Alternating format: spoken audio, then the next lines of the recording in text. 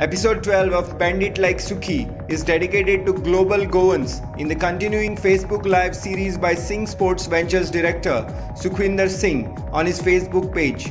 In this episode, the Goenkar football professionals Jules Alberto, Elvis Goes, Seby Coelho, and Franky Barreto, who are now based in different parts of the world, will voice their perspectives vis a vis Goan and Indian football.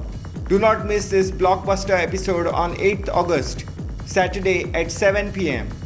Former India international Denzil Franco will be part of this show as a moderator. Hey guys, another proud Goenkar here, looking forward to connect with all the Goan lovers of football all over Goa, India and overseas.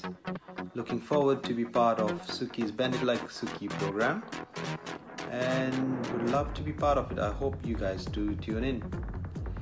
See you guys.